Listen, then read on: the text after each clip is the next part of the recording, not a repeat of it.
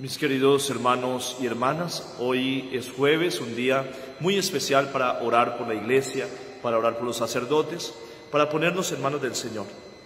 Vamos a meditar el Evangelio de San Mateo, capítulo 16, versos 13 al 23. Digamos juntos, Señor Jesús, yo te abro la puerta de mi corazón, de mi vida, y te recibo como mi único Señor y Dios. Acepto tu voluntad, sea la que sea, con tal de que ella se cumpla en mí. Te entrego el gobierno de mi vida, de mi casa, de mis asuntos, ahora y por siempre. Amén.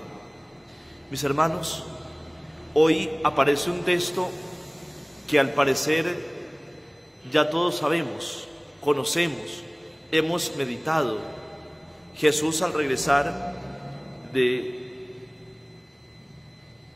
de una de sus correrías, llega allí a la región de Cesarea de Filipo y pregunta a sus discípulos, ¿quién dice la gente que soy yo? A lo que hay muchas respuestas, como las pueden haber hoy. Pero luego los interpela a ellos y les dice, ¿y ustedes quién dicen que soy yo? Y esa pregunta se hace muy personal hoy para cada uno de nosotros. Con nuestro nombre nos dice, fulanito, para ti quién soy yo. Y la respuesta debe ser también muy personal y directa. Jesucristo, tú para mí eres. Eres una fuerza, eres una energía, eres el Señor, eres Dios o eres mi Señor. Cada uno debe responderle al Señor desde su conciencia, desde su corazón. ¿Quién es Jesús para mí?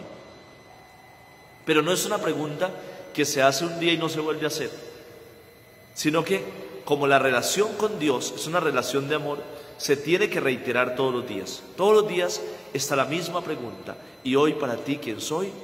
Jesús, tú para mí eres. Y una respuesta de amor ante una pregunta de amor, ante un Dios que me ama. Pedro se adelanta y dice, Señor, tú eres el Mesías, el Hijo de Dios. Y el Señor le reconoce que esta profesión de fe es fruto de la acción del Espíritu Santo. Ya la palabra de Dios nos va a decir que nadie puede decir Jesús es el Señor si no es por la fuerza del Espíritu. Por tanto, tenemos que abrirnos a la acción del Espíritu para profesar no solamente con nuestros labios, con nuestra razón, sino con nuestro sentimiento, que Jesús es el Señor, es el Hijo de Dios, es mi Señor, mi Salvador, a quien yo acojo en mi corazón y por el cual estoy dispuesto a darlo todo. Como Pedro se deja iluminar y confiesa que Jesús es el Señor, entonces el Señor establece allí la iglesia y pone a Pedro como cabeza visible, hoy Francisco, pero también nos pone a nosotros, a cada uno de ustedes en su casa, papá, mamá, lo pone como cabeza de esa iglesia doméstica. Y es necesario que los que tenemos autoridad en el pueblo, un docente, un catequista, un sacerdote, un padre de familia, tenemos el deber de profesar con nuestros labios y con nuestro corazón que Jesús es el Señor. De esa manera confirmaremos a nuestros hermanos, transmitiremos la fe, esa fe que tiene que ser transmitida de padres a hijos y así de generación en generación. ¿Cuál es el problema hoy? La fe está entrando en crisis porque el hombre ya no responde a Dios y el hombre ya no transmite esa fe. O si transmite una fe, es una fe doctrinal, no es una fe experiencial. Dios quiere que transmitamos esa experiencia de fe, experiencia de amor. Mis hermanos, profesar la fe no significa que no tengamos la tentación de actuar como Pedro al final. Señor, yo no lo voy a permitir que tú des la vida. A veces, aún teniendo fe, nos entra la tentación de hacer la vida y unos planes de acuerdo a nosotros y no a Dios.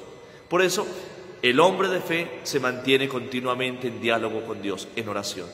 Y quiero pedirles hoy que como hombres y mujeres de fe, oremos para que nuestra fe sea cimentada sobre roca, sea fortalecida cada día y para que podamos transmitir esta experiencia a otros hermanos. Esa es la gran tarea. Ahora di conmigo, gracias Señor por la fe que me regalas.